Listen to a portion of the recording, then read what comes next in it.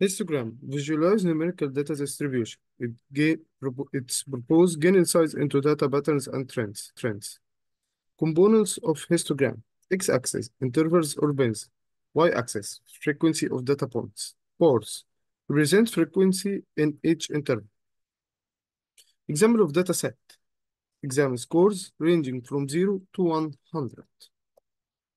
Creating a histogram in Tableau or Power BI. Import data into Tableau or Power BI. Select a numerical field and create bins. Understanding distribution patterns. 1. Normal distribution is a bell-shaped curve.